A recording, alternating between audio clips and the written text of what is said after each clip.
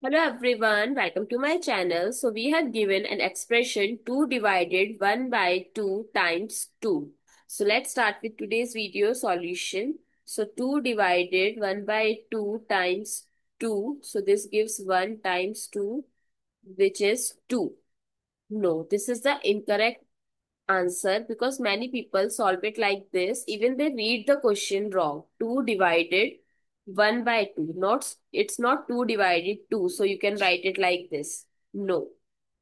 So if you have confusion so you can put the bracket here and then solve it like this and use the kcf rule which say that keep c stands for change and f stands for flip. So that means keep the left hand change the symbol of multi division to multiplication and flip the right hand side and then multiply 2. So it becomes 2 times 2 by 1 times 2, which is 2 times 2 is 4 and 4 times 2 is 8. So what is the correct answer? 8.